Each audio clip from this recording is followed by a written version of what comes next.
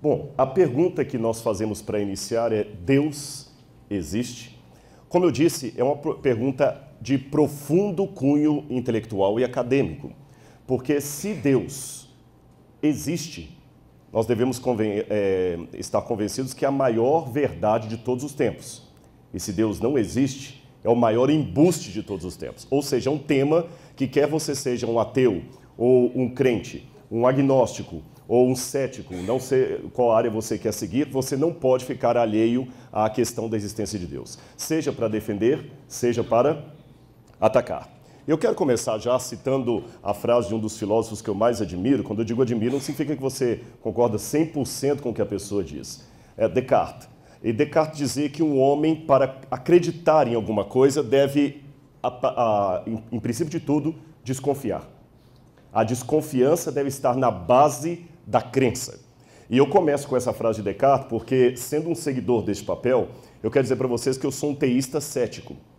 E alguns podem suspeitar da, da, da, do paradoxo dessa minha frase. Como você pode ser um, um teísta cético, alguém que acredita, mas descrê? Eu estou preparando um livro que o título será O Ceticismo da Fé, porque às vezes é preciso duvidar para crer. E vou mostrar para vocês até o final dessa, desta palestra que muito das minhas crenças, da, do meu código de valores, da minha cosmovisão, é sustentado das dúvidas que eu tenho a respeito da vida, dúvidas sinceras. E vamos começar um pouquinho, antes de tratar propriamente do tema de Deus, para colocá-lo de maneira mais apropriada nesse, só marcar meu tempo aqui, de maneira mais apropriado nesse ambiente acadêmico de uma universidade federal, começar com uma proposta de um dos grandes acadêmicos brasileiros, já famoso, já falecido, uh, é, Anísio Teixeira. Anísio Teixeira diz que as universidades são elas que fazem hoje, com efeito, a vida marchar. Nada as substitui, nada as dispensa.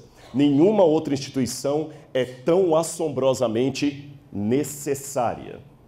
Então vamos colocar, se a universidade é um lugar para fazer você pensar, para fazer você refletir, para você pensar um pouco mais sobre a vida e filosofar, quando se fala de fé numa universidade, universidade pública, alguns já falam assim: que isso, você está de brincadeira comigo? Fé é coisa para tratar na religião, nas igrejas, na missa, no culto, no, no, no ambiente religioso que você vai. A academia é para a gente tratar de física, química, evidências, biologia, hum, filosofia no máximo. Alguns até querem dizer que a filosofia está morta. Eu não acredito nisso, porque eu tenho graduação em filosofia também. Mas fé, não desculpe-me, até se eu pudesse levantar contra um evento que fale sobre Deus e fé na universidade, eu levantaria. E vocês talvez já devem estar acostumados a ambientes em que muitos defensores da não-fé ou da incongruência entre fé e razão dizem geralmente para os alunos: olha, fé, você precisa superar isto, pense grande, seja racional, seja mais inteligente, questione tudo, tudo é relativo, você não é mais uma criança. Só que quando uma pessoa coloca isso, eu pergunto para ela: você está deixando o aluno questionar tudo, inclusive o que você está dizendo em sala de aula? Mas há pessoas que geralmente eles são muito plurais enquanto você concorda com eles. Quando você discorda, eles se tornam altamente fundamentalistas. Então eu acho muito interessante que alguns é, é, mais secularizados que negam a fé falam assim: não, eu quero que meu aluno questione tudo. Tudo bem, mas não questione o que ele fala em sala de aula, você vai reprovar. Vamos pensar um pouquinho nesse ambiente aparentemente antirreligioso que, que tem nas universidades. É quase que uma, um, uma situação psicológico-partidária, com camisetas, folders, um verdadeiro é, é, é, marketing de anti-religiosidade, anti-fé, anti-teísmo. Eu conversando com um amigo meu da, da Unicamp, que é ateu, ele falou, não, mas eu não acho que é correto apresentar Deus em sala de aula. Eu falei, tudo bem, desde que você também não apresente o não-Deus. Por que, que o teísmo não é bem-vindo em sala de aula, mas o ateísmo que também é uma corrente filosófica, é bem-vindo. É bem então vamos analisar um pouquinho. Será que esse criticismo não está fazendo os alunos acabarem se voltando para um novo tipo de religiosidade contra o formato, contra os deuses? Algumas propagandas antirreligiosas chegam a ser até desrespeitosas. E eu acho interessante que num ambiente com tanta preocupação com a tolerância, é, com a, a, a homofobia, com o respeito pela diferença, antes de vir para cá eu estava no hotel assistindo é, aquele canal do Supremo, onde eles estavam julgando uma causa. E olha que interessante, quando eu cheguei no hotel, eles estavam começando a julgar uma causa de um rapaz que foi excluído de entrar para o Corpo de Bombeiros porque tinha uma tatuagem. Isso era por volta de uma hora da tarde. Eu saí do hotel agora às 5 horas, ainda estavam na mesma temática. Se o rapaz tem direito a ser do Corpo de Bombeiros tendo uma tatuagem ou não tem. E o tema assim, temos que respeitar o direito de expressão, etc. E por que, que isso não vale para a religião também, para a fé? Parece que Deus não é bem-vindo em muitos centros universitários. E, e, sempre colocam, olha, você tem que ter um livre pensamento, jogue a religião no lixo. É, temos uma, uma, demanda de evidência e pensamento, é, exige a evidência e pense criticamente. Adultos com amigos imaginários são estúpidos. Isso é a promoção de Richard Dawkins e os famosos cavaleiros do apocalipse, do, neo, do, neo, do, do neoateísmo. Então eu acredito, eu acredito em Deus, então eu sou um estúpido. E eu conheço muitas pessoas com doutorado, mestrado, graduados, acadêmicos que também são estúpidos. Então nós temos um problema sistêmico na educação do século XXI que estão dando diplomas de mestrado, doutorado, pós-doutorado e livre docência para pessoas estúpidas. E o curioso é que muitas universidades que querem romper com a religião, achando que agora vão fazer o aluno um livre pensador, eu pergunto, estamos realmente fazendo o nosso papel? É uma auto-reflexão para nós professores. Olha que interessante esses dados aqui. Uso de drogas por universitários. 48,7% dos estudantes já experimentaram drogas ilícitas. Isto é o dobro da taxa da população brasileira. Se a universidade tem os alunos mais livre pensadores, se a universidade tem os alunos mais acadêmicos, se a universidade tem os alunos que superaram o mito, especialmente o mito religioso, a lenda, a fábula, o conto da carochinhas, os alunos que vão sair para formar esse país. E eu tenho nas universidades o dobro do uso de drogas ilícitas em relação ao que está fora da universidade. Amigos, isso aqui é um dado da Unicamp, algo está errado. No mínimo, algo está errado. Universitários são a, a parcela da população que mais consome drogas. E eu me lembro uma vez que eu cheguei na USP e estava um, um, escrito assim: se o Papa, na época era o Bento XVI, se o Papa Bento é 16, por que eu não posso ser? E na época 16 no, no Código Penal era usuário. Existe uma verdadeira apologia a isso. Sem contar outros problemas, eu tenho um livro aqui curioso, é de vários autores, e é as questões do cotidiano universitário. É, vários problemas foram colocados em universidades brasileiras e do exterior alunos com dificuldade de expressar ideias próprias e criatividade. Então, realmente, nós estamos conseguindo, no ambiente secular, colocar os alunos para pensar. Deus foi banido. Religião que, que prende você. Religião que nós queremos libertar você de tabus religiosos, de crenças, de missa, de ideia de padre, de pastor, de, de chefe de centro espírita. Nós queremos libertar você de, de conceitos teológicos ou religiosos. Você vai ser um livre pensador. Se estamos com esse objetivo, por que, que os alunos estão com dificuldade de expressar ideias próprias e criatividade? Eu pergunto, será que realmente nós estamos apenas, não estamos apenas tornando os alunos meros refletores do pensamento alheio, assim como acusam as religiões de fazer com os membros, só que com outra roupagem?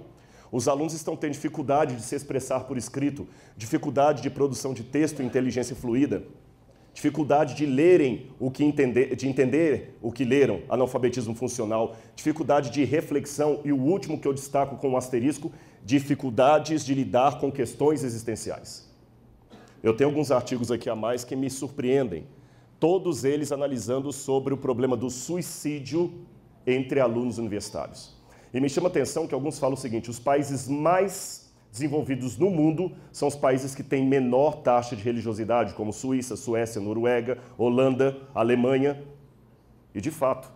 Mas me chamou a atenção que eu tive recentemente dando uma palestra em Berlim e eu fiz uma pergunta para o auditório, a maioria deles secularizados, antirreligiosos.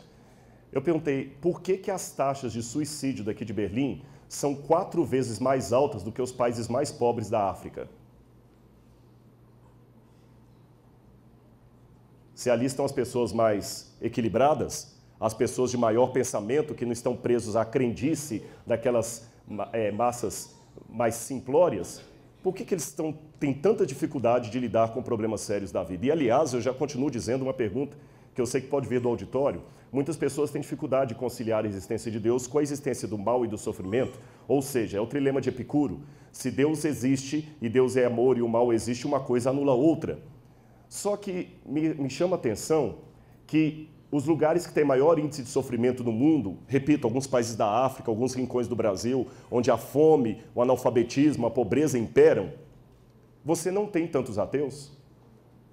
Se você fizer uma, um congresso de ateísmo na Etiópia, você vai alugar uma cabine telefônica. Mas em compensação, na Europa, onde o pessoal quase não tem problema de analfabetismo, de doenças, de, de esgoto a céu aberto, de pobreza absoluta, você tem muitos ateus. Eu pergunto de volta: o sofrimento é um problema para a existência de Deus do ponto de vista de quem sofre ou do ponto de vista de quem filosofa sobre o sofrimento? Porque quem sofre está acreditando em Deus, quem não sofre está filosofando sobre aquilo e está tendo um alto índice de suicídio, depressão e perda de sentido na vida. São questões acadêmicas que eu devo pensar: será que realmente a fé não tem espaço no ambiente acadêmico? E outro problema mais, nós estamos vivendo também uma época de tremendo relativismo moral, intelectual, pós-moderno onde não existem verdades absolutas. Aí que entra o tiro no pé da religião, porque a religião trabalha com verdades absolutas, Deus existe. Só que o problema é que por não termos verdades absolutas, nós estamos vendo, por exemplo, esse livro é fantástico, de Alan Bloom, O Declínio da Cultura Ocidental, e você tem esse Cultural Literacy, uh, feito por Rich, e ambos mostrando como é que no Ocidente os jovens, mesmo universitários, saem cada vez com menos conhecimento sobre coisas profundas. E sabe por quê? Porque, como não existem verdades absolutas, ele vai aprender aquele conteúdo para quê? Amigos, eu, eu acho muito interessante a falta de valores que os jovens estão tendo hoje. Porque alguns temas da religião se tornaram tabu, para não dizer coisas ridículas, pré-modernas, como, por exemplo, pecado, moral, virtude. Essas coisas são ridículas. Aliás, se eu citá-las aqui por muito mais tempo, alguns talvez começaram até a levantar e sair. Mas Quero dizer para vocês uma coisa, como alguém que sempre conhece o Oriente Médio e já viu muita situação no Oriente Médio, só para informação de vocês, eu estava em Istambul um dia antes do atentado. 24 horas do atentado, do atentado eu estava saindo daquele aeroporto. Então eu sei o que é a guerra do Oriente Médio. Vocês sabem qual que é o mais importante soldado do Estado Islâmico? Cinegrafistas. Eles têm mais de mil cinegrafistas. E sabem por quê? Porque eles querem produzir documentários de alta qualidade. Por que razão?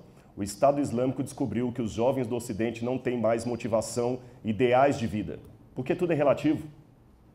Tudo é relativo, ele não tem mais que almejar uma, uma ideia, ele não acredita mais nos pais, ele não acredita mais na família, ele não acredita no partido, ele precisa acreditar em alguma coisa. Ele não acredita em Deus, não acredita em mais nada. Então o Estado Islâmico percebeu esse, esse viés, essa lacuna de fé nos jovens do Ocidente e estão dando uma proposta para eles. Por isso que nós temos um número expressivo de jovens ocidentais que estão se unindo à milícia islâmica e simpatizantes do Estado Islâmico apenas por verem os documentários que os cinegrafistas apresentam. Viram a falta de ideologias o que causa nos jovens? A falta de valores? Continuando. Tudo isso que eu estou falando seria cômico se não fosse trágico.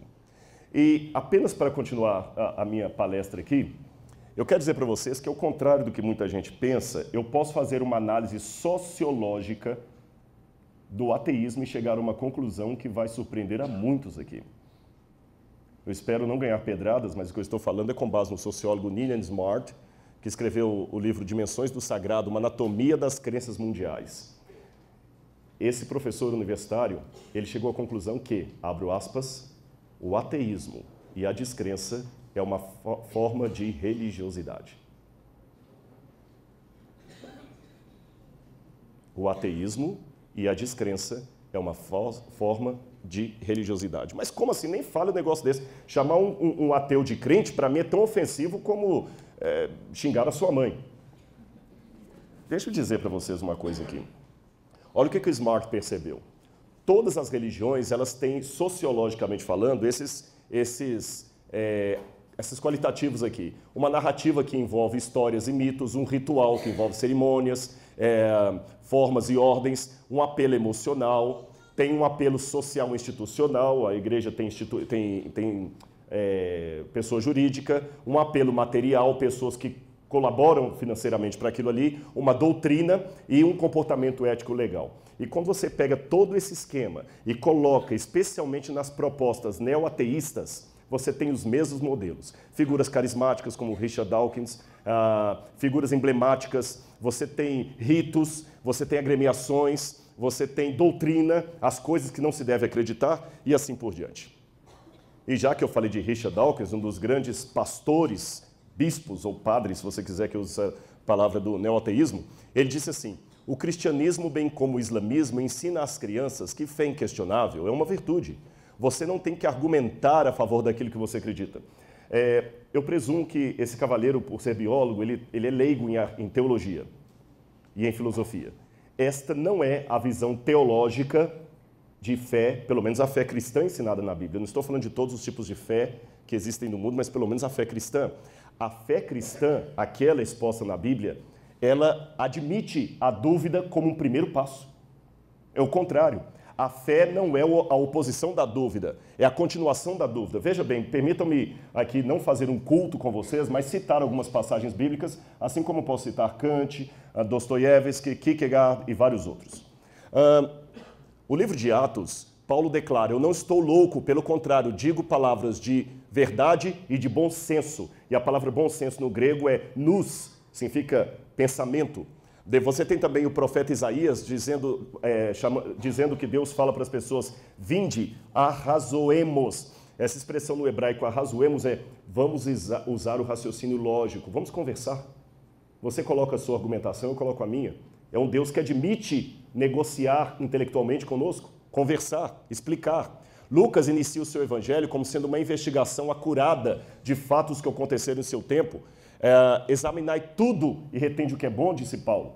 O próprio Cristo várias vezes falou o seguinte: não acreditem em qualquer coisa que contem para vocês.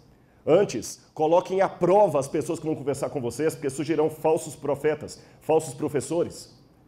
Cuidado para que ninguém engane vocês. Jesus ensinou até a não confiarmos numa coisa apenas porque os antigos disseram aquilo. Ele falou o seguinte: Eu sei o que foi dito aos antigos, eu, porém, vos digo: examinai, a própria Bíblia nos ensina. Aliás, interessante que se você pegar o mapa bíblico, o pai da fé, segundo a Bíblia, é Abraão, o pai das religiões monoteístas. E quando Deus fala com Abraão em hebraico, vai por ti mesmo, a expressão é ler, lerá, é, Deus falou com ele, pode ir pensando o que você está fazendo. E quando Abraão abre a boca, o pai da fé, para conversar com Deus, ele expressa dúvidas.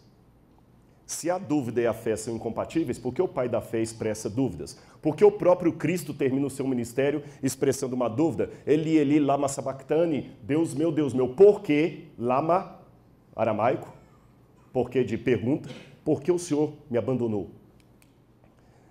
E eu gosto muito, eu recomendo a leitura desse livro de Humberto Eco, e Carlo Maria Martini, que é um especialista em grego koiné da, da Itália, e Humberto Eco vocês conhecem, um grande medievalista e escritor de vários livros, inclusive O Nome da Rosa, em que creem os que não creem.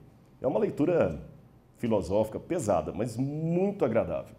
Eu recomendo como Reader's Digest aí para vocês, muito formidável. Olha, aliás, eu vou até fazer uma coisa, eu não sou ciumento de palestras. Se alguém quiser depois a cópia desse PowerPoint, tendo um, um pendrive, não sei como é que pode fazer para chegar o pessoal aí, tá certo? Uh, Carl Sagan, quando escreveu aquela novela Contato, que virou até filme, ele tem um personagem lá, Dr. Arroway, que menciona o seguinte: você não pode convencer um crente de nada, pois a sua crença não é baseada na evidência, ela é baseada num profundo, numa profunda necessidade de crer, de acreditar. Será que é isso mesmo?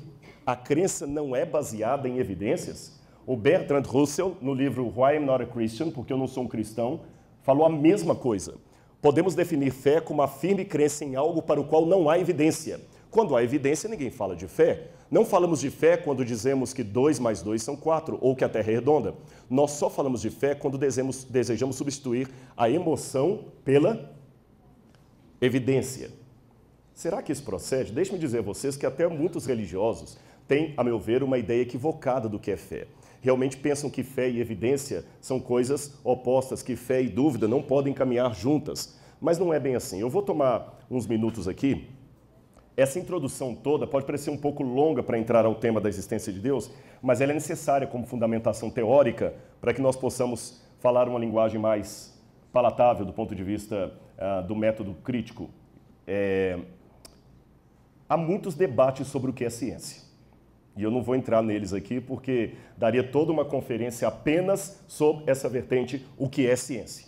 Há alguns que têm um conceito mais lato de ciência, que acreditam que ciência envolve muito mais do que o método científico de, de Bacon, e Stuart Mill, que ciência pode ser compreendida até como a área das humanas, história seria ciência, a psicologia seria ciência. Há outros que pensam que não, que não se pode falar de ciências humanas, que a ciência seria apenas laboratorial. Não vou entrar no mérito da questão. Mas vamos falar um pouquinho sobre o que é evidência do ponto de vista laboratorial. Você tem uma escada de elementos. Evidência, fato científico, hipótese de trabalho, teoria, lei, não são sinônimos perfeitos. E me admira que mesmo acadêmicos às vezes misturam as coisas perante os alunos como se fosse uma coisa só. Método e metodologia não é a mesma coisa. Então vou dar até uma dica para você fazer o seu TCC, a sua dissertação, a sua tese. A primeira coisa que você tem que ter, quando um aluno chega para mim e fala, professor, eu quero fazer o meu trabalho sobre tal assunto, eu não tenho nenhum interesse em ler. Ah, eu quero fazer o meu trabalho sobre filosofia grega, não tenho nenhum interesse em ler. Ah, eu quero fazer o meu trabalho sobre a ética de Aristóteles, eu não tenho nenhum interesse em ler. A primeira coisa que você tem para fazer uma pesquisa acadêmica é um problema. Um problema que seja respondido pela, pela, pelos critérios acadêmicos e que seja um problema interessante. A unha encravada do pé da sua avó não é um problema. Nem quantos anjos cabem na cabeça de um alfinete é um problema intelectual. Mas se você chegar para mim e falar o seguinte, professor, eu quero fazer uma, um TCC sobre o seguinte tema: existiu ou não idade escura na Grécia do período arcaico? Opa, agora já me interessou, porque é um debate. Ele pegou um tema e transformou num problema. Depois do problema, você vê se há evidências que permitem você começar a pesquisa daquele problema. Se há evidências, você pode então elencar essas evidências e fazer um fato científico. Se você tem um fato científico, aí você pode dar um degrau a mais e criar uma hipótese de trabalho. Se há várias hipóteses, você para aqui. Mas se existe apenas uma maneira de explicar aquilo, você já tem um passo além, que é uma teoria, se há uma maneira lógica apenas. E se você consegue repetir aquilo em laboratório, em ambiente controlado, obtendo os mesmos resultados, você tem uma lei. É por isso que eu falo de teoria da relatividade não lei da relatividade, de Einstein. É uma teoria, ela pode ser testada, mas não pode ser repetida. Compreendem a questão? Então agora vamos imaginar isso num quadro. Se eu chego em sala, uma sala aqui e a sala está toda bagunçada, eu tenho um problema. Qual o problema? Quem fez isso? Então já tem um problema. Quais são as evidências? As evidências são aqueles elementos que ajudam a responder o meu problema. Eu tenho aqui é, vidro quebrado, isso é uma evidência. Uma mesa aqui no meio, é evidência de alguma coisa? Não, a mesa já estava ali. O fato de ter uma janela é evidência de alguma coisa? Não, a janela já estava ali. Um ventilador no teto é evidência de alguma coisa? Não. Mas a gaveta solta é. Então a evidência é quando você separa os elementos que ajudam a resolver o seu problema daqueles que são dispensáveis. Uma vez que eu elenquei as evidências, aí eu vou ao fato científico. É quando eu vou descrever as evidências sem interpretar. Não pode interpretar. Nem pode ser uma descrição subjetiva. A sala era grande e espaçosa. Isso é subjetivo. A sala media tantos metros por tantos metros. Havia estilhaços de vidro no canto A e B, mas não no canto C ou D. Aí você está fazendo uma descrição acadêmica. Depois que você fez isso, aí você pode levantar a sua hipótese de trabalho. Eu acho que quem quebrou a sala aqui foi um aluno que, que tirou nota baixa na aula e ele, e ele queria tirar a prova dele ali no escuro, ele acabou se atrapalhando todo e tentou roubar a prova. Outro vai falar assim, não, não, para mim quem fez aquilo ali foi um bando de vândalos. Se há várias explicações, eu tenho hipótese. Mas se eu consigo uma explicação única, inquestionável, eu tenho uma teoria. Se eu consigo repetir em laboratório, eu tenho uma lei. Então viram que evidências não são provas forensicas de nada. Então quando esses cavaleiros como Bernard, eh, Bertrand Russell e outros mais dizem a fé não é baseada em evidências, desculpe-me, eles não estão usando evidência dentro do critério de um método científico. Repito, evidências não são provas forenses, forenses, são elementos que me ajudam a construir uma hipótese de trabalho ou uma teoria. Agora vejam bem o que, que o Richard Dawkins continuou dizendo. Essas partes dele eu tirei todo no, do livro Deus um Delírio. Richard Dawkins diz: o ateísmo não é uma fé, mas um fato Lembra de fato científico? Um fato baseado em evidências, mas eu tenho um problema. Ele, o ateísmo não é a negação da existência de um ente. Quando você estuda Aristóteles, eu que eu tenho um dos maiores especialistas em Aristóteles, é, ele faleceu agora em 2001, o Dr. Mortimer Adler, um dos maiores filósofos aristotélicos do século 20 e 21, ele dizia: uma proposição afirmativa existencial pode ser provada, mas uma proposição negativa existencial, ou seja, aquela que nega de alguma a existência de alguma coisa, não pode ser provada. Então, quando Richard Dawkins diz que o, que o ateísmo é uma evidência, é um fato baseado em evidência, ele está simplesmente desconsiderando tudo da lógica aristotélica. Porque você só pode provar uma afirmativa existencial positiva. Uma afirmativa existencial negativa, você não pode provar de maneira nenhuma. E curioso que alguns ateus, como o biólogo húngaro George Klein, judeu, que é ateu, ele escreveu: Eu sou, sem dúvida, um ateu, mas minha atitude não é baseada em ciência e sim em fé como a sua. Alguns admitem. E falando em fé, deixe-me fazer com vocês aqui uma diferença para que todos entendam que tipo de fé eu estou defendendo aqui. Uma vez, eu não sei se isso é, eu nunca li em fonte primária, eu vou citar aqui aquelas citações que não fazem parte da sua comprovação, mas faz sentido. Dizem repito, não está em fonte primária isso, que perguntaram a, a Einstein se ele acreditava em Deus, ele replicou de volta: pergunte-me o que você entende de Deus, eu vou te dizer se acredita ou não. Quer seja folclore ou não essa, esse diálogo de Einstein, eu acho verdadeira a expressão.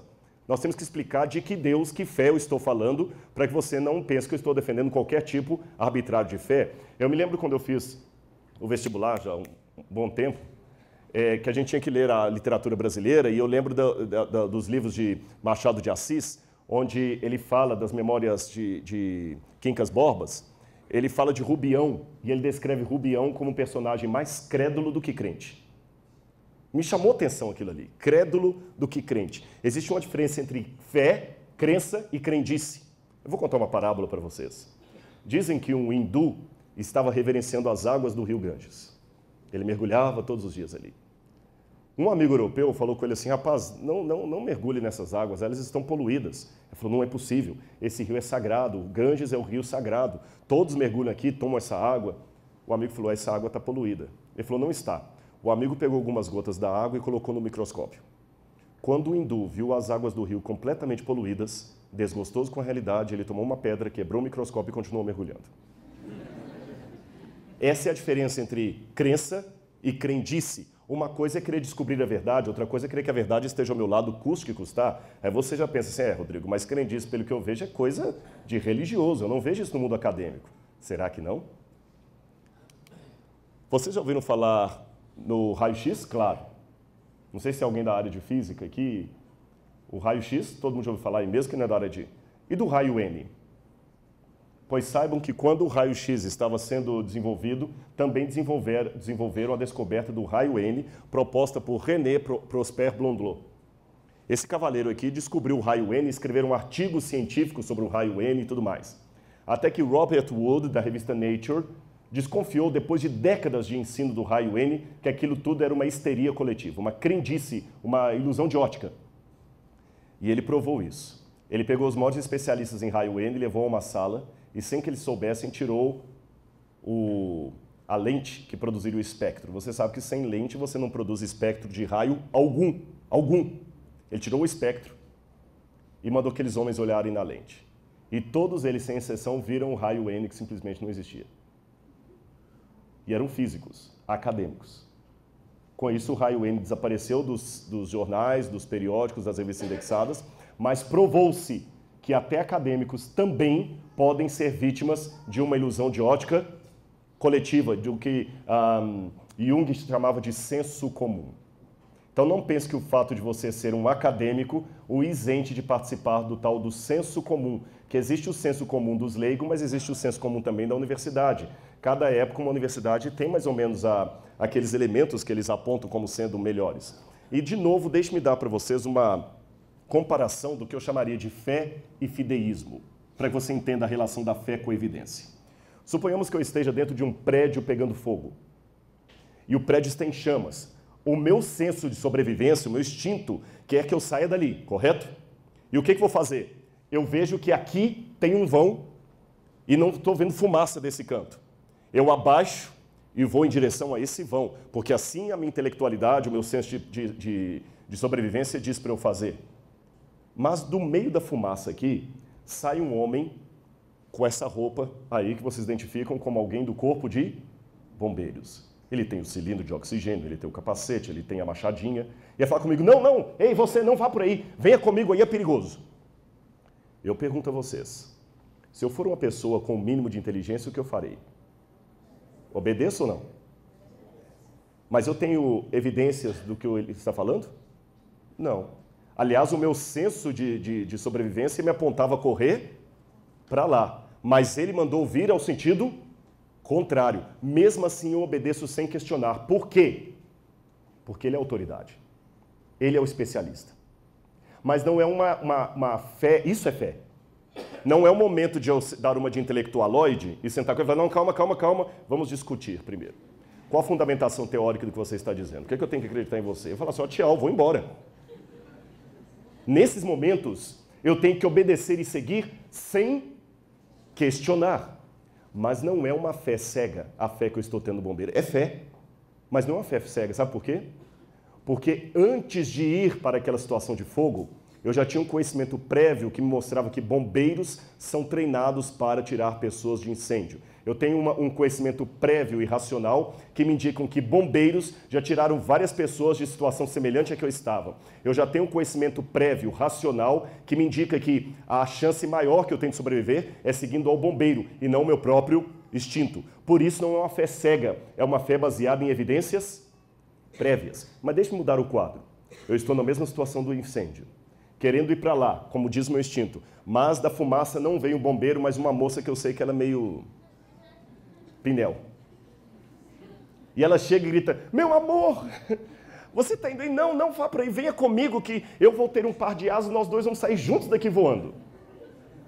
Se eu desobedeço o meu senso de sobrevivência para seguir essa menina, aí eu não estaria tendo fé, eu estaria tendo fideísmo, uma fé cega. Uma fé que não é baseada em evidências. Aquela menina não tem evidência nenhuma que pode me tirar dali. O, o, o sair correndo atrás dela é um, é um, ato desesperado de me agarrar a qualquer coisa que, apare, que apareça, mesmo sem ter evidências racionais que me apontam para aquilo. Ou seja, a fé que eu estou defendendo aqui para vocês é diferente do fideísmo.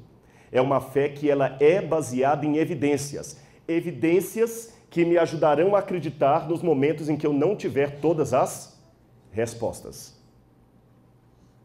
Eu sei que aqui nós temos muitos alunos da medicina.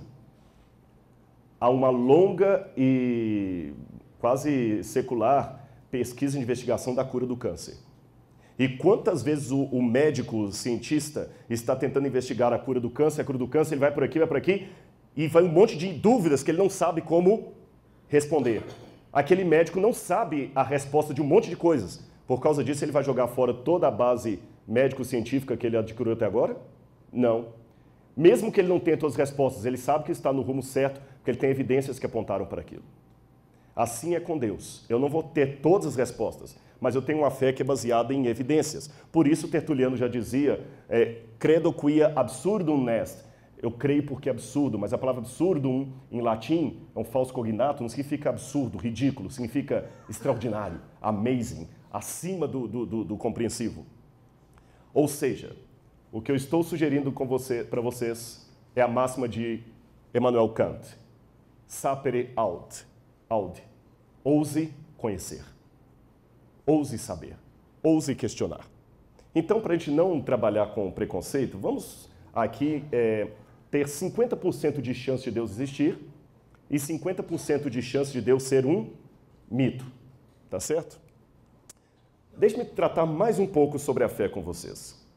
Uh, Archibald uh, Robertson, especialista em grego, ele coloca que a palavra grega traduzida por, por fé, pistes, ela aparece umas 240 vezes na, na Bíblia, ela pode ser traduzida como atestar. É um antigo verbo que significa equipar, fornecer. Ela é usada por Demóstenes para apresentar evidência do que se diz. Viram que fé e evidência não são opostos? Mas tem um verso da Bíblia que pode causar escândalo em pessoas de mente acadêmica, que diz assim: Ora, sem fé é impossível agradar a Deus, porque é necessário que todo aquele que se aproxima de Deus creia que ele existe e se torna galardoador dos que o buscam, Hebreus 11, verso 6. Peraí, Rodrigo, se você acabou de falar que a fé baseia em evidência, como é que a pessoa tem que ir a Deus já crendo que ele existe? Isso é meio nonsense. É como se falar o seguinte: olha, eu tenho o poder de curar qualquer doença, mas você já tem que vir para cá crendo que eu posso. Aí se eu não consigo curar você é porque você não creu. Não, é porque eu sou um charlatão. Como é que funciona esse negócio de já ir a Deus crendo que ele existe? Repito, a palavra fé em grego pistes significa garantia que advém de uma possibilidade de confiança. Possibilidade de confiança. Tá, tudo bem, Rodrigo, eu entendi. Mas como eu devo ir a Deus crendo que Ele existe? Isso não faz sentido na minha cabeça. Quando você está precisando de um financiamento para comprar um carro, para pagar a sua, o FIES, para pagar a universidade, é, um financiamento para trocar de carro, para comprar uma casa, para aumentar seus negócios, você geralmente vai pedir o financiamento aonde?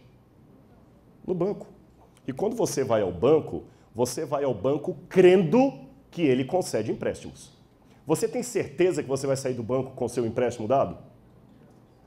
Mas mesmo assim você tem que ir crendo. Se você não crê que há possibilidade, por que você vai? Agora eu pergunto: por que você vai ao banco crendo que ele concede empréstimos, mas não vai ao açougue para pegar um financiamento, nem à banca de jornal ou ao camelô da Praça Tubal Vilela? A resposta é simples. É porque você tem uma multidão de pessoas que já foram a bancos e voltaram com dinheiro na mão. E você nunca viu alguém que foi à Praça do Balvilela, um açougue, e voltou com financiamento. Concordam comigo? Então, com base no testemunho coletivo de outros, você vai ao banco crendo que ele pode te dar empréstimos. É uma questão racional. Mesmo que você não tenha certeza absoluta se sairá de lá com ou sem o dinheiro. A mesma coisa eu posso dizer Hebreus capítulo 12, verso 1 diz, com relação a Deus: Estamos, pois, cercados de uma grande nuvem de testemunhas. Pessoas que também foram ao banco a Deus e voltaram com argumentos. Eu não estou falando de pessoas é, só leigas, não. Os grandes pilares do intelectualismo ocidental eram pessoas que criam em Deus na Bíblia. Eu vou dizer alguns exemplos deles. Você tem C.S. Lewis, vocês devem conhecer as Crônicas de Nárnia, que era um ateu de Oxford e depois se tornou um, um cristão. Você tem uh, Isaac Newton, que descobriu a lei da gravidade. Você tem Dostoiévski, um dos maiores escritores da literatura russa, escreveu Crime e Castigo, Irmãos Karamazov. Você tem Leibniz. Quem estuda matemática e filosofia tem que passar por Leibniz, um homem que com oito anos de idade aprendeu sozinho latim e grego. E aos 21 já tinha o seu primeiro doutorado. Ele criou o conceito de teodiceia, argumentando racionalmente sobre a existência de Deus no universo de sofrimento. Você tem Blaise Pascal, famoso pela frase o coração tem razões que a própria razão desconhece, que não tem nada de romantismo, isso é filosofia pura. Pascal era um matemático. Você tem Louis Pasteur, que desenvolveu todo o processo biológico da pasteurização, da microbiologia. E, finalmente, quando eu fiz a faculdade de filosofia, eu estudei aquele último ali, Anthony Flew, Anthony Flew era um dos maiores filósofos vivos do século XX, em pé de igualdade com Sartre, com vários outros. E Anthony Flew era um dos maiores ateus que eu já conheci. E olha, eu aplaudo. Mesmo que eu discorde da ideia da pessoa, isso não me impede de admirar o intelectualismo e o brilhantismo das argumentações. Eu sou fã dos escritos de Nietzsche. Discordo de Nietzsche. Mas sou fã da maneira como ele escreve, ó, a argumentação, o brilhantismo. Eu, eu sei dividir as coisas, eu sei, eu sei apreciar o talento, mesmo não concordando com as ideias. Compreendem? Eu, eu, eu, admiro, às vezes, o tipo de roupa, nem por isso eu vou vestir. Eu posso achar uma mulher muito bem vestida, nem por isso eu vou colocar o vestido dela em mim. Tá certo? E o Anthony Flew estava em pé de igualdade com Nietzsche. E quando eu fiz filosofia, eu lembro que falar de Anthony Flew um dia acreditando em Deus era uma coisa tão utópica como falar do Papa Francisco se tornando mormon. O testemunho de Jeová. É um negócio meio complicado. E Antônio Flu, no final de sua vida, começou a acreditar na existência de Deus e na historicidade da, da, da, ressurreição. Quando essa notícia veio, eu mesmo desacreditei. Eu pensei, não, isso é lenda, lenda de internet. E o Richard Dawkins falou o seguinte: mentira, isso é o pessoal crente inventando. E quando eles viram que era verdade, que Antônio Flu tinha se tornado um crente, falaram assim, é, mas é porque ele está gagá, 90 anos. E Antônio Flu falou, engraçado, em toda a minha vida de filósofo, várias vezes eu troquei de opinião, nunca me chamaram de gagá. Mas quando eu troquei de opinião sobre a descrença para a crença em Deus, eu sou Gagá. Mas como um Gagá pode ter publicado no mês passado um artigo numa revista indexada de Oxford? Bom, e tem mais uma coisa que eu queria levar vocês a pensar. Então, como eu disse para vocês, são perguntas que me fazem é, crer em alguma coisa. Sigmund Freud, o pai da psicanálise, disse algo que eu concordo profundamente ele disse que todos nós temos uma carência de Deus. Concordo. Parece até Santo Agostinho de Hipona escrevendo a, a Cidade de Deus, ou as Confissões. Freud dizia: Nós temos uma carência de Deus. Agora, olha a explicação de Freud. A crença em Deus subsiste devido ao desejo de um pai protetor e imortalidade, ou como um ópio contra a miséria e o sofrimento da existência humana. Eu tenho dois problemas com relação a isso aqui. O primeiro problema é o seguinte: se Freud está dando uma explicação psicanalítica para a crença, eu também posso oferecer uma explicação psicanalítica para a descrença. Há vantagens da descrença, embora eu admita que isso não se aplique a todos os ateus. Há razões pelas quais muitos não querem que Deus exista, ou pelo menos que ele não passe de uma força cega e impessoal. Se Deus não existe, eu não preciso prestar contas a ninguém, nem ser necessariamente moral, não há juízo final. Não há ninguém que vai me punir. O problema não é roubar, é ser apanhado. Eu não estou querendo dizer que os ateus não são morais. Não estou querendo dizer que os ateus não são bons. Pelo contrário, houve um ateu chamado Betinho, com uma vida tão santa e poluta como muitos santos da Igreja Católica. E eu posso até dizer que Betinho não cria em Deus, mas Deus cria no Betinho, porque o homem. Entendem? Eu não sou daquele tipo que demoniza os ateus. Eu tenho grandes amigos ateus grandes amigos ateus. Eu não demonizo os ateus. Mas o ponto que eu quero dizer é o seguinte: para você ser coerente com o seu ateísmo, você há de admitir que o problema não é roubar, é ser apanhado. Porque se o camarada, se eu roubei algo e me dei bem, pela lei da evolução das espécies, eu estou bem, a, sobrevivência do mais apto, do mais esperto. Eu passei a perna em você e consegui um emprego, a natureza está mostrando que isso é normal. Então há vantagens. E mais, se Deus sai do trono, o trono fica vazio. E como o próprio Nietzsche disse no Anticristo, no Assim de Zarastutra, das cinzas de Deus surge quem? O super-homem, que aliás é uma péssima tradução do, do, do alemão, né? Übermensch. Übermensch é o ultra-homem, o homem que está acima de tudo. Só que o próprio Nietzsche admite que esse homem, esse ultra-homem que levanta das cinzas de Deus, está apavorado, porque ele não sabe controlar a história. Agora, tem mais um detalhe na observação de Freud. Freud admitiu que todos nós temos emocionalmente uma carência de alguém que nós chamamos na teologia de Deus. Mas vem cá, aproveitando que há várias pessoas da área de saúde aqui. Pelo que eu saiba, todas as necessidades fisiológicas, emocionais e mentais do meu organismo têm que ter um correspondente na natureza. Por exemplo, eu não sintetizo dentro do meu organismo a vitamina C, correto? Então eu preciso pegar a vitamina C dos alimentos. Agora, imagine se a vitamina C não existisse em lugar nenhum. O que aconteceria com o meu organismo? Ele simplesmente não existiria. Ah, você tem como imaginar um organismo vivo que tem a necessidade de uma vitamina ou de um sal mineral, ou de um sais, de sais minerais, ou de algum elemento químico, orgânico, que simplesmente não existe em canto nenhum? Se esse organismo existisse, ele colapsaria antes da primeira reprodução, porque ele precisa vitalmente daquele elemento. Mas como o elemento não existe, ele vai acabar morrendo. Para que esse organismo continue existindo, o elemento do qual ele necessita tem que existir em algum canto da natureza. Falando em fisiologia, é muito estranho imaginar órgão reprodutor masculino sem existir órgão reprodutor feminino. É muito estranho imaginar pulmão sem imaginar o oxigênio, imaginar rins sem imaginar água. Imaginar necessidade de, de clorofila sem a clorofila. Agora é Freud quer me dizer que tem uma necessidade de Deus, mas Deus não existe. Isso não faz sentido do ponto de vista argumentativo. É como se eu precisasse de uma vitamina, de um elemento que não existe. Então, de onde vem essa carência? A primeira pergunta é: se Deus não existe, de onde vem a necessidade que temos dele?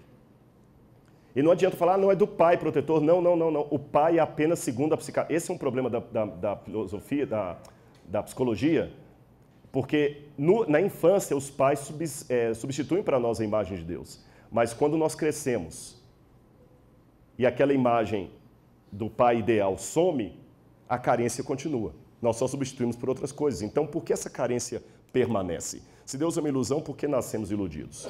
E mais, por que acadêmicos continuam acreditando em Deus?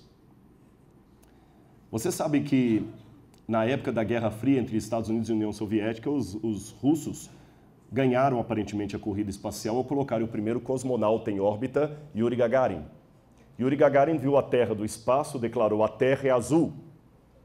Mas ele não parou nessa declaração poética, ele falou: Eu fui ao espaço, subi mais alto que qualquer homem, e Deus não estava lá.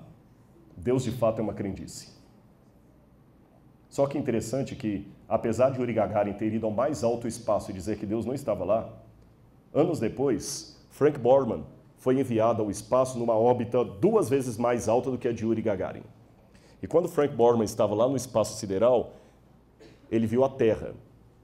E eles ligaram todos os rádios e TVs do mundo inteiro para escutarem a voz de Frank Borman e perguntaram: Frank Borman, o que você, como um homem de ciência, tem a ver, tem a dizer estando aí no espaço? Sabem qual foi a resposta de Frank Borman? É, eu saúdo a todas as pessoas que estão em San Diego, na Califórnia, e aos meus parentes também. E a única coisa que eu tenho a dizer aqui do espaço sideral é o seguinte: no princípio, Deus criou o céu e a terra. A terra, porém, era sem forma e vazia. Havia trevas sobre a face do abismo, o Espírito de Deus pairava sobre as águas e fez Deus a luz e viu que a luz era boa. Será então que realmente Deus não estava lá? Uma questão de ponto de vista de Yuri Gagarin. Bom, o próprio Salmo diz: provem e vejam que o Senhor é bom. Essa palavra prova em hebraico é ta'ama, significa investigar, experimentar sensorialmente, como o sabor de uma coisa. Agora, eu já estou indo para a última parte da minha palestra, eu tenho uma afirmação meio taxativa que vai surpreender alguns. Eu posso provar que Deus existe? A resposta é não. Então, Rodrigo, você fez eu perder o meu tempo. Você enrolou a gente até agora falando de fé, de evidência e tudo mais para admitir que Deus não. Então é uma questão de calma. Lembra que eu falei do método científico? Evidência, hipótese de trabalho, fato, etc, etc. Eu não posso provar que Deus existe. E isso, do ponto de vista teológico, faz todo sentido. Por que razão? Primeiro, vamos lembrar de Karl Popper. Não sei quantos já estudaram sobre o Círculo de Viena, é, depois do, da Segunda Guerra Mundial, quando vários especialistas se reuniram na Áustria para tentar resgatar o valor da ciência. É o neopositivismo, uma vez que a ciência estava desacreditada devido às guerras. E um dos mais famosos foi Popper. E Popper falava muito da verificabilidade versus falseabilidade. Popper estabeleceu os limites da ciência. E ele falou: a ciência não pode investigar aquilo que está além da verificabilidade, da falseabilidade, do falseável. O que é isso? Eu tenho aqui dois exemplos. Eu tenho a famosa frase de Nero, dita por Suetônio, segundo o qual, na hora que o grande imperador romano, terrível imperador é, Nero César, estava à beira da morte, ele teria dito: uh, Qualis artifex pereo, que grande artista morre hoje. Agora eu pergunto: será que Nero falou isso mesmo? Isso não é falseável, não é verificável. Por isso, isso está além da ciência laboratorial empírica. Agora vejam essa outra situação. Se eu declarasse gasolina de automóvel não serve para avião, isso já é científico. Por quê? É falseável. Como falseável? Basta você pegar a gasolina de avião, de automóvel e colocar num avião para ver se funciona. É passivo de ser verificado, é falseável. Então, essa afirmação é científica. A afirmação histórica não é. Outra questão. Uh, Euclides, quando falava da geometria, ele colocava uma diferença. Você sabe que matemática também não é ciência, matemática é linguagem. E Euclides já estabelecia isso dizendo que há uma diferença entre postulado, axioma, e teorema. Qual a diferença? Um postulado, um axioma, é uma coisa que você afirma porque todas as evidências apontam para aquilo, é lógico afirmar aquilo, mas você não tem como provar ou comprovar ou verificar, ou para usar a linguagem posterior de Popper, falsear, porque está acima do seu calibre mental, está acima da sua capacidade de investigação, está acima da sua capacidade de verificação e análise. Mas o teorema você pode comprovar, porque está dentro do seu escopo mental. Por exemplo, o quinto se não me engano é o quinto, a quinta lei, ou o quinto axioma de Euclides, as retas paralelas. Duas retas paralelas infinitas, segundo alguns, jamais se cruzam, outros acham que se cruzam, etc. Eu não vou entrar no mérito da questão. Mas duas retas paralelas e infinitas são um postulado, não um teorema. Por que, que são um postulado? Porque você não tem como provar isso. Para provar, você deveria ter uma régua do tamanho de quê? Do infinito. Quem aqui tem uma régua do tamanho do infinito? Quem tem uma capacidade de dimensionar o infinito de canto a canto, se é que o infinito tem canto? Portanto, esse estabelecimento das, das retas paralelas de Euclides é um axioma, não um teorema. Porque o teorema pode ser verificado. Aqui que vem a questão. Deus não é teorema. Deus é axioma. Porque se Deus fosse teorema, Deus poderia ser verificado, comprovado, analisado, medido. Se Deus pudesse ser medido, analisado, falseável, ele seria pequeno demais para ser Deus. É por isso que eu não posso provar a Deus como não posso provar as duas retas paralelas de Euclides. Eu posso enunciar a Deus. Ficou claro? Deus é axioma, Deus é postulado, não é teorema, por isso que eu não posso provar que Deus existe. Mas eu também não vou. O postulado não é uma coisa de graça que qualquer um pode postular o que quiser. Ah, então já que é assim, Rodrigo, eu vou postular que elefantes azuis existem. Ah, mas eu não posso provar que não existe, é, mas também não pode provar que existe. Não, não é isso. Para você enunciar um postulado, ele tem que ter um mínimo de arrazoado cartesiano, sistêmico, lógico, racional.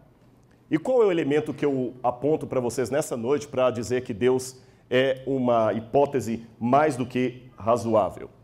Eu vou começar com Parmênides, da escola eliática, um dos pré-socráticos. E antes que você pense que filosofia é coisa ridícula, deixe-me dizer você que não esqueça, eu posso provar isso talvez não na minha palestra, mas na hora das perguntas. É graças aos filósofos pré-socráticos, Eleatas e Aristóteles, que hoje você pode tirar uma foto e postar no seu Instagram. Sabia disso?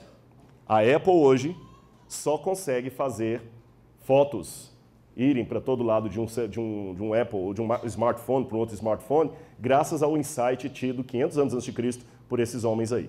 Então não pense que eram pessoas que não tinham o que fazer. Como é que eu cheguei a essa conclusão? Depois eu posso explicar. E o Parmênides fez uma pergunta dessas que parecem ser loucas, ou uma proposta, mas ela é sensata. É preciso pensar e dizer isto: aquilo que é, existe. Ou colocando em forma de pergunta por Leibniz, por que existe algo ao invés de nada? Vou repetir. Reflitam comigo. Por que existe algo ao invés de nada?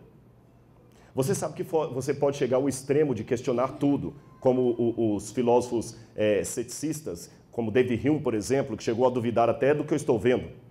Lembra o autoceticismo de Hume? Hume duvidava até que eu estou vendo. E quem me garante, dizer David Hume, que o que eu estou vendo não é uma ilusão da minha cabeça? Matrix.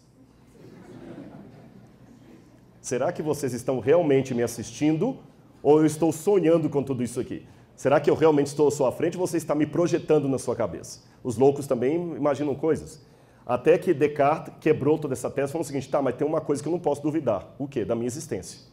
Porque ainda que você seja uma ilusão, para essa ilusão estar acontecendo, eu tenho que estar projetando essa ilusão em algum lugar. Senão essa ilusão não existiria. Então, eu penso, logo existo. Cogito ergo sum. Simples. Agora vamos então. Por que existe algo ao invés de nada? O ponto mais comum hoje da física, eu não sou físico, mas a teoria mais badalada atualmente é do Big Bang. O instante zero em que tudo começou. Tudo. Espaço, tempo, energia, gravidade. E o que, que havia antes disso? Nada. Só que a questão é o seguinte: em latim dizia-se ex nihilo nihil fit. Vários repetiram essa frase. Ex nihilo nihil fit. Tradução: do nada, nada se faz. Se eu tenho um monte de nada, mas um monte de nada é igual a nada.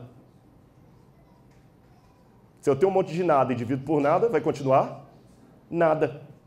Então, se aqui não havia nada, por que hoje há algo? Por que há algo ao invés de nada? Do ponto de vista filosófico, é muito complicado dizer que simplesmente não havia nada. E há várias propostas para tentar resolver isso aí, mas olha o que disse Alan Sandage. Esse é um dos maiores astrônomos da atualidade, ele ganhou o prêmio Granford de astronomia, que equivale ao prêmio Nobel. Ele que calculou a velocidade com que o universo se expande à distância das estrelas. E ele disse assim: quando eu era, um, eu era quase um ateu na juventude, a ciência foi que me levou à conclusão de que o mundo é muito mais complexo do que, complexo do que o podemos explicar. O mistério da existência, disse esse astrônomo físico, só posso explicar mediante o sobrenatural. Conta isso aí para quem acha que Deus não tem espaço na física. Acho que é bastante improvável que tal ordem tenha vindo do caos. Tem que haver algum princípio organizador. Deus, para mim, é um mistério, mas ainda é a melhor explicação que tenho para o milagre da existência, porque existe algo ao invés de nada. Agora, interessante que Michael Shemer, que é o editor da revista Skeptic, a revista Skeptic é uma revista de ateus, tipo a Super Interessante, a Veja, só que é uma revista voltada para esse, esse recorte da sociedade de leitores ateus. E ele dizia o seguinte: em ambas a tradição judaico-cristã e visão de mundo científico, o universo um dia veio à existência, seja mediante a criação de Deus, seja mediante o Big Bang. Só que a resposta do crente que Deus criou é uma resposta que não pode ser testada. Então é uma hipótese absurda. Tudo bem. Mas olha o que, que Stephen Hawking tem dito aí para provar que Deus não existe. Stephen Hawking, um brilhante homem que está tentando desenvolver a teoria do tudo, a teoria das cordas, a teoria do tudo, ele tem dito: o universo pode criar-se a partir do nada e Deus não é necessário. Desculpe-me, agora o cético sou eu. Prova isso aí. Testa laboratorialmente isso que você falou. Testa que o universo pode se criar sozinho. Eu li alguns livros de, é, dele, como O Grande Projeto, que ele escreve com é, Midlanov.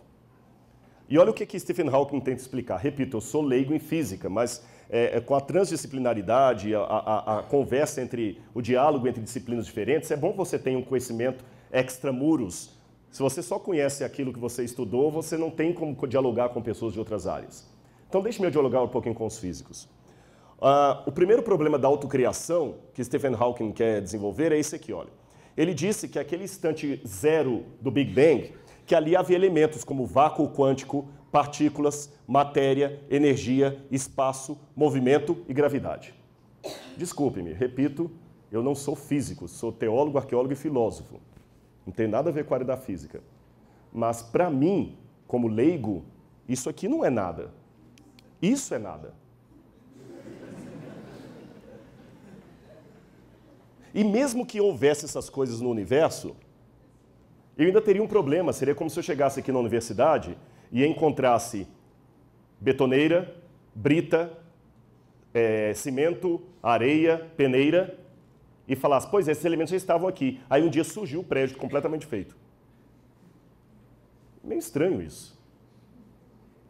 Como é que as coisas explodiram e montaram todas direitinho? Mas é pior, isso aqui não havia. O instante zero, nem o espaço havia. Até o espaço foi formado. É zero, zero absoluto.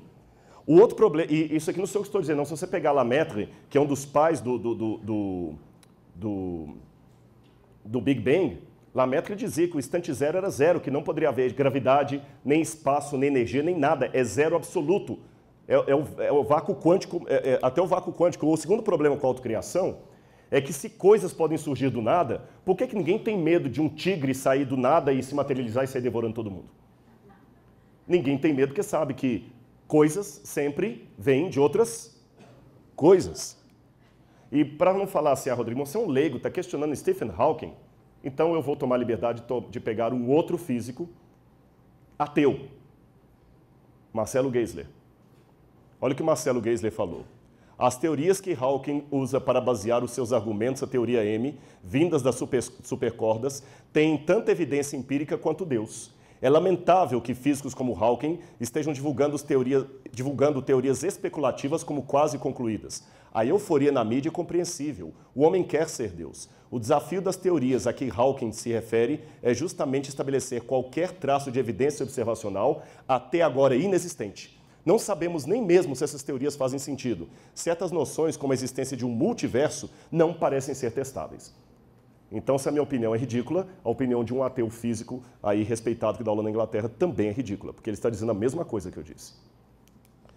E o próprio Stephen Hawking, quando escreveu uma breve história do tempo, dizia que muitas pessoas não gostam da, história, da ideia de que o tempo tenha tido um começo, porque provavelmente ela demanda uma intervenção divina. E no livro O Grande Projeto, que eu falei com vocês que eu acabei de ler, ele mesmo e o, autor, o coautor dele admitem que ao contrastarem o criacionismo da Terra jovem com a teoria do Big Bang, aquela ideia que Deus criou, ele admite que a teoria do Big Bang é mais útil, mas não se pode dizer que um dos modelos é mais real do que o outro. Ele mesmo admite que aqueles que acreditam que Deus criou não é um, um modelo inferior a dizer que o Big Bang não teve intervenção divina. E John Lennox, que, era, que é professor de Oxford de matemática, disse também que a teoria que, que Hawking coloca ela não faz sentido. Em primeiro lugar, se a gravidade existe, quem a colocou lá? E qual foi a força criativa por detrás do seu, do seu nascimento? Então, como eu falei com vocês, o vazio, o vácuo e o nada na física quântica não é o que Stephen Hawking está tentando colocar para estabelecer a não existência de Deus e perdoe-me, sem querer ofender ninguém, aqui não é panfletário o que eu quero dizer, mas é sincero. Eu tenho concluído que o, o, dogma do ateísmo, se é que eu posso usar essa expressão, a crença básica do ateísmo seria essa: a crença de que não havia absolutamente nada. E nada aconteceu a nada. Até que nada, de um modo mágico, explodiu e, por nenhuma razão, criando tudo o que existe em todo lugar. Então, depois de um boom, tudo de modo mágico se auto-organizou, novamente sem nenhuma razão e se autorreplicou, formando seres complexos que evoluíram e se transformaram em dinossauros. É isso que estão tentando me convencer. Que nada aconteceu a nada e de repente nós temos tudo. Repito a pergunta: por que existe algo ao invés de nada? Por eu ter essa dúvida, eu sou obrigado a crer. Vocês estão notando que a minha fé está sendo sustentada num monte de perguntas? Aliás, a prova maior que as perguntas são bem-vindas à fé, que uma coisa que eu aprendi com o maior judeu de todos os tempos, Jesus Cristo, é responder perguntas contra as perguntas. Várias vezes perguntavam, Jesus, o que, é que eu farei para herdar a vida eterna? O que está escrito na lei? Aliás, dizem que os judeus têm essa mania, até hoje, de, de eu sei disso, em Jerusalém, de responder uma pergunta contra pergunta. E perguntaram a um rabino, por que vocês judeus respondem uma pergunta contra pergunta? Ele respondeu algo mal nisso. Nós temos também o problema do ajuste fino. São duas perguntas que a gente faz. Por que há algo ao invés de nada? E por que há música ao invés de ruído? Essas duas frases, em contexto diferente, aparecem em Shakespeare. Aparecem em Shakespeare, em Otelo e no Hamlet. Em Otelo e no Hamlet. Por que existe música ao invés de ruído? Nós vimos uma orquestra tocando aqui. A orquestra tem afinação, tem partitura. O universo tem partitura, tem propósito. Por que existe algo ao invés de nada se não há Deus? E segundo, por que a música ao invés de ruído?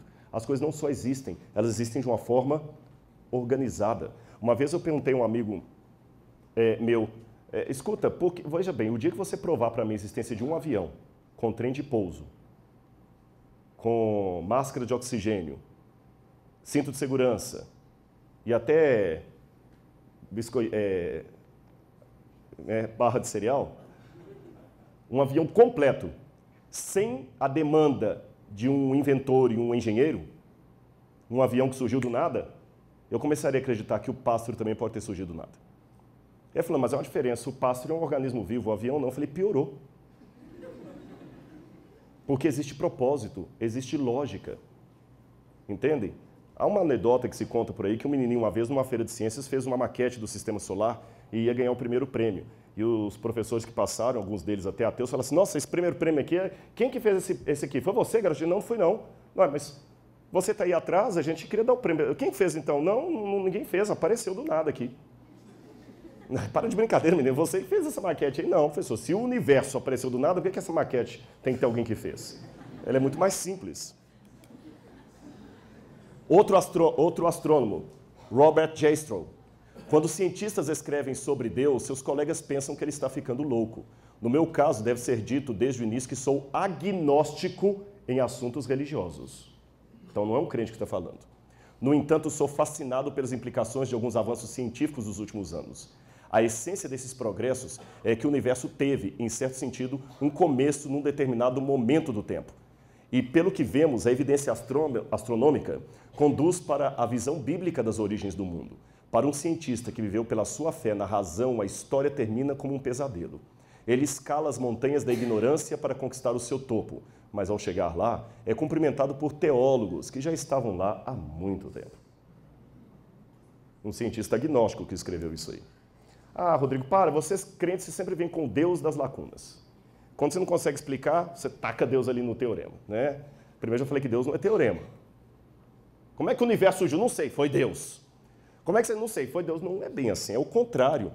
Quem trabalha com Deus das lacunas é o ateu. Eu vou explicar por quê. Como ele não consegue explicar como o universo veio do nada, porque ele dispensa a hipótese de Deus, então ele começa a colocar o Deus universo na lacuna. Ele começa a dizer que o universo é eterno. O próprio Carl Sagan dizia: o cosmo é tudo que uma vez, o cosmo é tudo quanto uma vez haverá. Sempre é o cosmos. Ou então eu falo de um criador. Agora tá bom, uma vez alguém perguntou assim, tá, mas se Deus criou tudo, e quem criou Deus? Esse é o ponto. O ponto filosófico é o seguinte: tudo que começou tem que ter uma causa. Deus não começou, por isso Deus não tem uma causa. E se você não quiser usar a palavra Deus, vamos chamá-la de causa primeira. Tem que haver uma causa primeira que deu origem ao universo e essa causa primeira não pode ter sido causada por nada.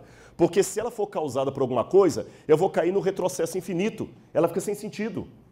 Uma causa que causou outra, que causou outra, que causou outra, que causou outra. Eu sou obrigado ou a acreditar num retrocesso infinito ou acreditar que houve uma causa primeira que causou todas as coisas. E alguém pode falar comigo, não, Rodrigo, peraí, não, não, não, para, stop. Um Deus eterno e autoexistente, você vem falar isso para mim aqui na minha universidade? Um Deus eterno e autoexistente? E eu digo, stop você. Um universo eterno e autoexistente?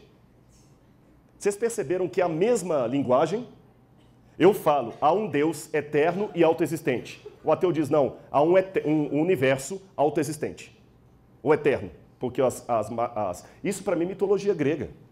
Porque a mitologia grega é que coloca que havia elementos siderais aí no espaço, aí eternamente no espaço, e entre esses elementos siderais surgiu Gaia, a Terra, ela mesma se auto-originou. A Gaia se autofecundou, dando a luz a Uranus, e os dois se autofecundaram, dando a luz a tudo que existe. Isso é mitologia grega, isso não é ciência. Um universo que se autoproduz não faz sentido. E mais, com Newton, eu descobri que o universo tem leis. Com Einstein, eu descobri que o universo tem energia. E com James Watson, eu descobri que o universo tem DNA, informação. E informação tem que ter inteligência. Falando em informação e inteligência, de onde veio a linguagem? Todos os estudos filológicos e linguísticos feitos até hoje dizem que a linguagem não é questão de nós não temos a, a evidência. Linguagem não pode ser fruto da evolução, porque linguagem demanda aprendizado. Linguagem demanda aprendizado. Não tem como a linguagem ser fruto da evolução. Não é questão que não temos ainda uma explicação evolutiva para a linguagem, ela não tem como ser fruto da evolução. Como é que o primeiro homem começou a falar? Quem o ensinou? Quem o ensinou? E mais, se Deus é um mito, eu posso falar do sensus gentium, como diz em latim, quem que propagou para o ouvido de todas as nações a existência de Deus? Pegue os barcos de Cabral ou de, ou de Colombo, chegue às Américas ou ao Brasil e os índios que aqui havia já adoravam algum tipo de divindade. Vá com Marco Polo até o fim do mundo, eles tinham algum tipo de divindade. O ateísmo é algo relativamente novo. Na, na, na, até mesmo se você for analisar as mais antigas evidências do Homo sapiens, ele já tinha algum tipo de, de para usar a linguagem evolucionista, ele já tinha algum tipo de divindade. Eu não encontrei até hoje traços de nenhuma civilização que fosse culturalmente ateia. E até aqueles que tentaram ser, como a China comunista ou a antiga União Soviética, quando abriram as portas, a religião entrou com força lá. Não conseguiram sustentar o ateísmo por muito tempo. Se o ateísmo é uma prática tão natural, por que, que todo mundo, em todo lugar, tem Deus de uma maneira tão instintiva como o sexo, a necessidade de sobrevivência, o eros, o thanatos e a divindade? Eu posso dizer até que o homem, mais do que o homo sapiens, é o homo religiosos. Porque mesmo o ateu um dia acreditou. Filosoficamente falando, quando eu analiso o universo, eu sou obrigado a chegar a essas conclusões aqui. Letra A. O universo tem que ter uma causa. Ele não pode ser incausado, porque ele começou. Ele não pode ser a causa de si mesmo, porque isso não faz sentido. É como perguntar onde é que está a esposa do solteiro, ou a terceira margem do rio, ou qual o sabor da cor azul. Não faz sentido isso. O causado não pode se causar. Você não pode dar luz a você mesmo, tem que ter sua mãe. Que tipo de causa eu estou falando? Em primeiro lugar, a causa primeira que originou o universo tem que ser uma causa supernatural, porque ela criou o natural. Tem que ser uma causa poderosa, incrivelmente poderosa. Tem que ser uma causa eterna, autoexistente, sem infinita regressão de causas. Uma causa não causada. A causa que causou o universo, ela tem que ser omnipresente, porque ela criou o espaço. Se ela criou o espaço, ela tem que estar fora do espaço. Então ela tem que ser onipresente. Ela tem que ser intemporal e imutável, porque ela criou o tempo, pelo menos esse tempo como eu conheço. Eu não digo que ela é atemporal, mas ela é intemporal. Existe uma diferença entre atemporal e intemporal. Ela tem que ser imaterial, porque ela transcende ao espaço e aos limites físicos. Ela tem que ser pessoal, assim definido porque ela criou de maneira intencional. Ela tem que ser necessária, porque todo o resto depende dela. Ela tem que ser infinita e singular, porque não pode haver dois infinitos. Ela tem que ser diversa e, no entanto, possuir unidade. Ela tem que ter inteligência, e ser suprema. Ela tem que ter propósito, deliberadamente ela criou tudo. Ela tem que ser moral, senão nenhuma lei moral teria sido dada. Ela tem que mostrar cuidado, senão nenhuma lei moral, nenhum cuidado, nenhum detalhe seria garantido. O curioso é que quando eu abro a Bíblia, eu descubro que todas as necessidades, todas as características filosóficas da causa primeira coincidem com características bíblicas daquilo que chamamos de Deus. A Bíblia o apresenta como supernatural, poderoso, eterno, onipresente, intemporal, imutável, imaterial, pessoal, necessário, infinito singular, diverso, mas em unidade, inteligente, com propósito moral e cuidadoso. E para terminar minha palestra, eu queria contar uma parábola para vocês. Se Platão iniciou todo o seu discurso com o mito da caverna, deixe-me contar um mito também para ilustrar o que eu quero dizer à guisa de, Platão e à guisa de Jesus, que contava tantas parábolas. Havia nessa fábula que eu quero contar para vocês um grupo de ratos que moravam no, dentro de um piano. E esses ratos sempre escutavam o concerto do pianista do lado de fora e se deliciavam. E louvavam o pianista por toda a música bela que ele tocava. Até que um dia, alguns ratos saíram de dentro da parte mais é, é, baixa do piano e subiram até aquelas teclas ali e viram as cordas e viram que cada vez que um martelinho de madeira com aquele veludo batia numa corda, saía um som do piano. Quando batia numa corda mais fina, saía um som agudo. Quando batia numa corda mais grave, saía um som mais grave, mais baixo. Quando duas cordas batiam ali, saía uma dissonância. Eles voltaram felizes, descobrindo o segredo da música. Não existe pianista nenhum. Nós agora temos a teoria das cordas. O que produz o som que nós ouvimos são martelinhos batendo em cordas. Não há nenhum pianista. E aí começou o debate dos ratos, se havia ou não havia pianista lá fora. E novas teorias mais rebuscadas foram colocadas para explicar aquele som sem necessidade de um músico. E muitos ratos continuaram acreditando, outros duvidaram. Mas a despeito disto, do lado de fora, o pianista continuava expondo o seu concerto, mesmo apesar da negação da sua existência mesmo que você continue negando, continue existindo, há vida no ar. E o concertista do universo está aí, dedilhando a sua bela sinfonia e dizendo, quer você queira ou não, eu existo e eu amo você. Um grande abraço. Obrigado.